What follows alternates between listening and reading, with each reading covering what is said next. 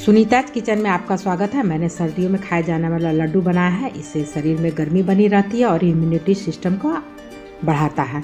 आप मेरे तरीके से लड्डू बना करके खाए। मैंने 50 ग्राम के करीब गोंद ले लिया है और 400 ग्राम के करीब हमने गुड़ ले लिया है।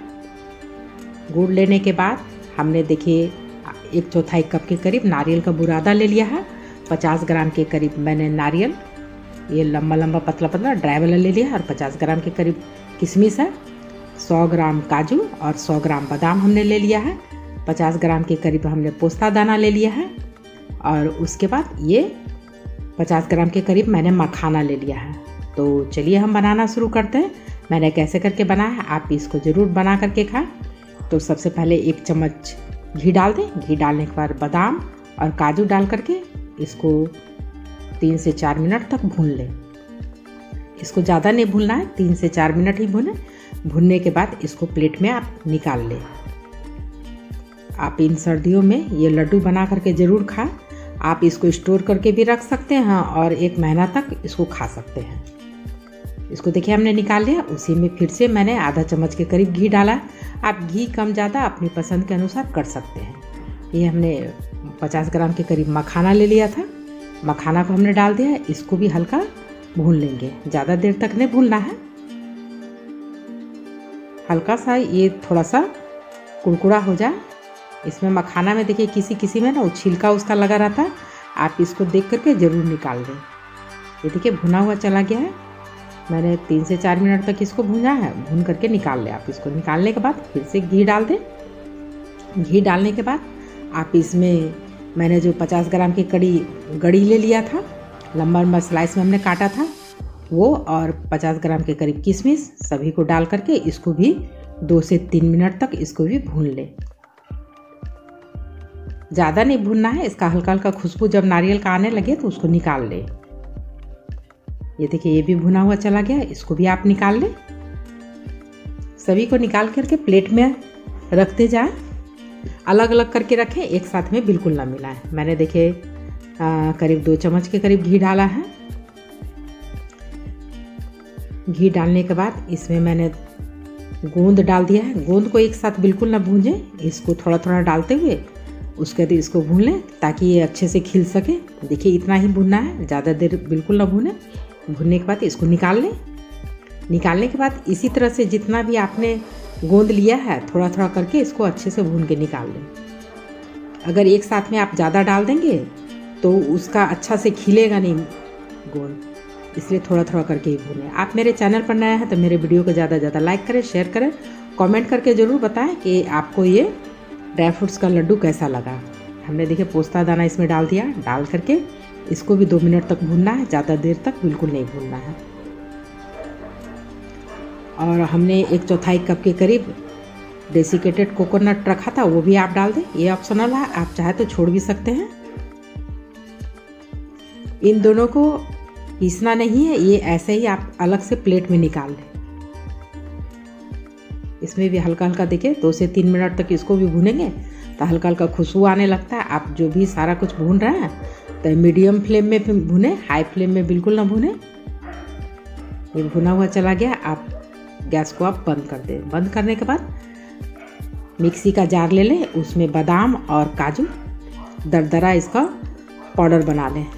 फाइन पाउडर बिल्कुल नहीं बनाना है। देखिए, दरदरा पाउडर बन चुका है। आप इसको कटोरा में निकाल लें। हमने पोस्ता, दाना और डेसिकेटेड कोकोनट जिसमें रखा था, जिस कटोरे में, उसी में रखें उसके बाद ये मखाना, इसको अभी पाउडर बना लें। उसके बाद हम किशमिश और गड़ी गोला को जो हमने भून करके रखा था, उसको भी हल्का दरदरा पाउडर बना लेंगे। इसमें दस हमने इलायची डाला है और एक चम्मच के करीब गोल मरीच हमने डाला है। डाल करके इसको भी पाउडर बना लें। देखिए, इसका भी पाउडर बना लिया है हमने। बना करके सभी को देखिए, कटोरा में हमने रख लिया है। आप चाहे तो फाइन पाउडर भी बना सकते हैं, लेकिन फाइन पाउडर बनाने के बाद उतना अच्छा उसका टेस्ट नहीं आता, इसलिए हल्का दरदरा ही कूटे तो ज़्यादा बेहतर। है मैंने दो चम्मच के करीब घी डाला है। घी आप चाहे तो ज़्यादा भी डाल सकते हैं। घी डालने के बाद ये देखिए पिघल चुका है। 400 ग्राम जो हमने गुड़ लिया था, वो इसमें डाल दें। डालने के बाद आप चाहे तो इसको कद्दूकस करके भी डाल दें, लेकिन हमने थोड़ा मोटा मोटा ही डाला। डालने के बाद जब तक मैं पिघल रहा है, तब तक मैं ये जो हमने गोंद भून करके रखा था, इसका बहुत बड़ा बड़ा दाना है। आप इसको पीसे नहीं, पीसने के बाद बहुत एकदम फाइन पाउडर बन जाता है। इसलिए मैंने ये ग्लास ले लिया, एक ग्लास से हल्का हल्का इसको ऊपर से दबाते हुए छोटा छोटा टुकड़ा कर ले इसको। आप चाहे तो मिक्सी के जार में भी एक दो बार चलाएँगे, उससे भी थोड़ा पाउडर बन जाता है। इधर देखिए, गुड़ भी पिघल चुका है। इसको चलाते रहें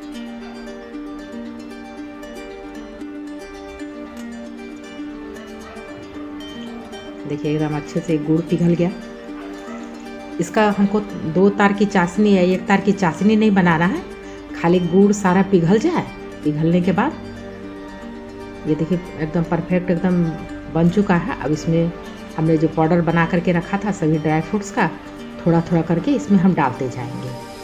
डालने के बाद इन सभी को मिला लें। देखिए, मखाना ऊपर से हमने डाला है। आप दरदरा कूटेंगे तो लड्डू देखने में बहुत ही अच्छा लगेगा।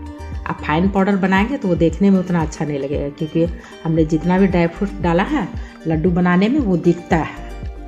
दरदरा कूटने पर, इसलिए आप दरदरा ही कूटें फाइन पाउडर बिल्कुल न बनाएँ। सभी को अच्छे से मिला लें।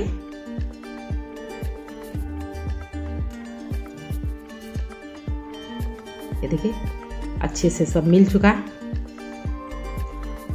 मिलने के बाद इसका थोड़ा सा ठंडा होने दें। ज़्यादा ठंडा नहीं करना है थोड़ा सा ठंडा होने दो, उसके बाद आप इसका लड्डू बनाएँ क्योंकि ज़्यादा गरम गरम का आप लड्डू बनाएँगे तो फिर हाथ जलने का चांस रहता है, इसलिए हल्का ठंडा हो जाए।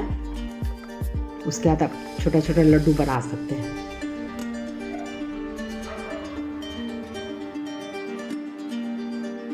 ऐसे ही करके एक एक करके पूरा बना लें।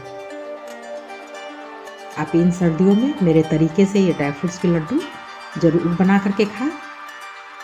ये बहुत ही ताकत देगा। अपने पूरे परिवार को बना करके खिलाएँ। आप सभी को मेरा वीडियो देखने के लिए धन्यवाद।